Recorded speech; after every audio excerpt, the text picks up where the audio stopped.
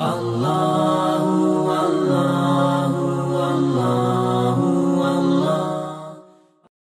कौसर इन्ना आतना कल कौसर फ़सल रबिका वनहर इन शान कहवल अबतर यह सूरा रात को सोने से पहले एक बार पढ़ लीजिए।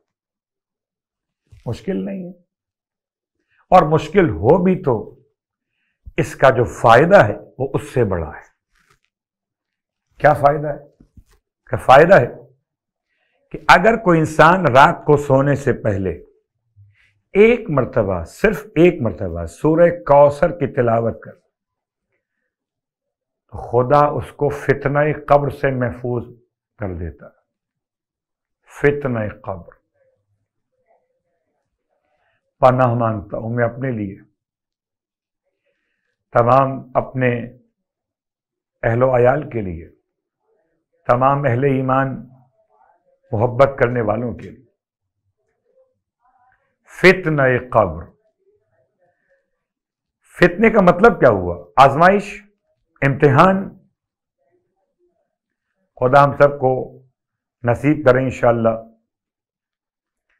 उम्र और हज की शहादत कभी महरूम ना करे। उम्र और हज और ज़्यादा से। अल्लाह अकबर। सामिन ग्रामी कद्र, अगर कोई इंसान सही करने के लिए दुआओं की तिलावत करे, सफ़ा पहाड़ी पे खड़े होकर तो वहाँ पर दुआओं में जुमला शामिल। परवरदिगार, मैं तुझसे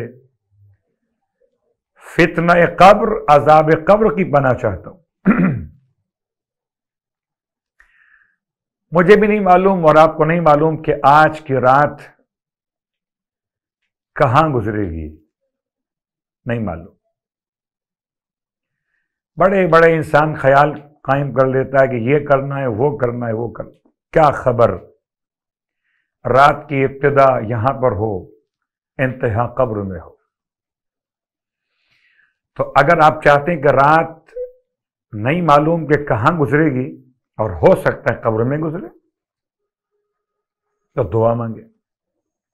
फितने कब्र से महफूज रहने की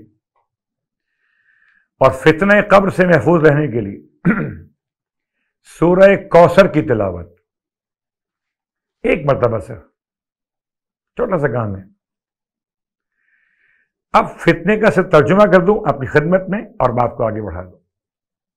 रात को सोने से पहले एक बार सूरह कौसर की तिलावत। देखिए, रात को सोने से पहले बहुत सारे अमाल बयान किए मासूमीन ने। एक अमल नहीं है ये। और हर अमल की अपनी अपनी अहमियत है।